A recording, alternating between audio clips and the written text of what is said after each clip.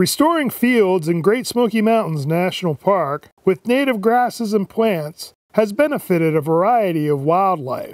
This change in flora provides beneficial seeds, forage, and shelter for many birds, mice, and insects.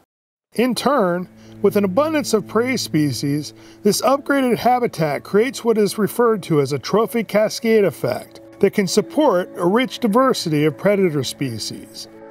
During winter, Short-eared owls, which are northern summer residents of open grasslands and tundra in Alaska, northern Canada, and the northwestern United States, have frequented Cades Cove during their winter migration.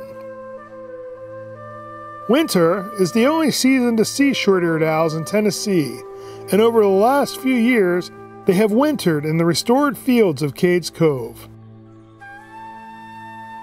Visitors to Cades Cove will more than likely not see short-eared owls until close to dusk.